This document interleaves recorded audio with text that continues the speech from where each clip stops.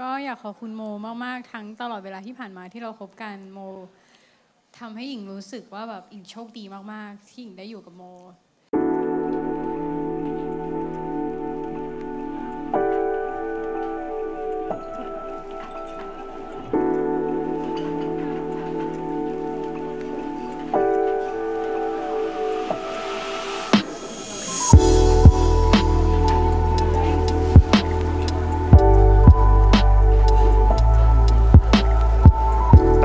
กที่เราคบกันเราประทับใจในความน่ารัก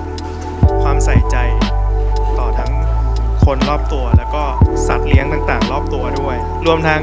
ยังมีความชอบเก็บรายละเอียดในเรื่องราวต่างๆ สิ่งเหล่านี้เป็นสิ่งที่เราไม่ค่อยมี เราเหมือนขั้วตรงข้ามที่ไม่เหมือนกันเลย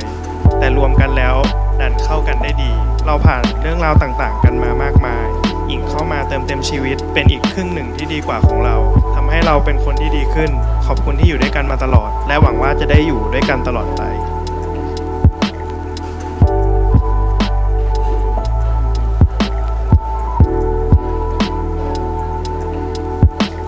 ถ้าถามว่าอะไรคือสิ่งที่โชคดีที่สุดในชีวิตนี้ก็คงเป็นการที่ได้เจอโมแล้วก็ได้มีโมเป็นคนรักเชื่อว่าไม่มี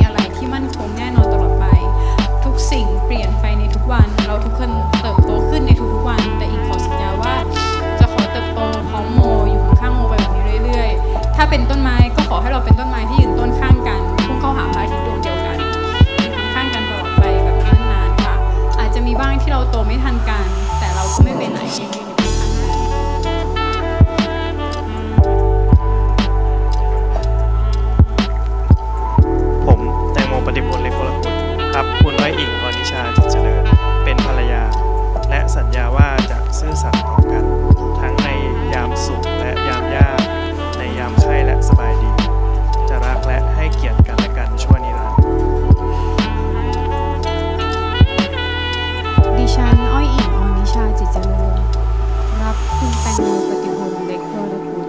เป็นสามีและสัญญาว่าจะซื่อสัตย์ต่อกัน ทั้งในยามสุขและยามยาก ในยามไข้และสบายดี